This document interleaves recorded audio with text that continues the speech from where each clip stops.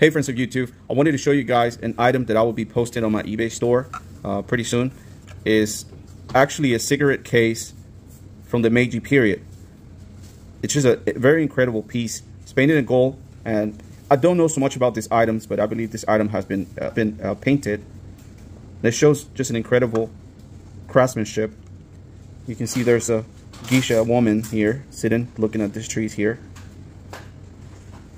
There's the house and there's uh, two cranes here on the other side with some trees and mountains.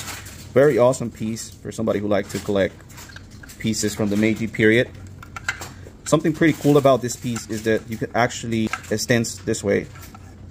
There's also a logo here on, on this side. It's a very it's a very awesome piece if you like to collect uh, Meiji period items. I'm gonna post it maybe uh, today or tomorrow. Go ahead.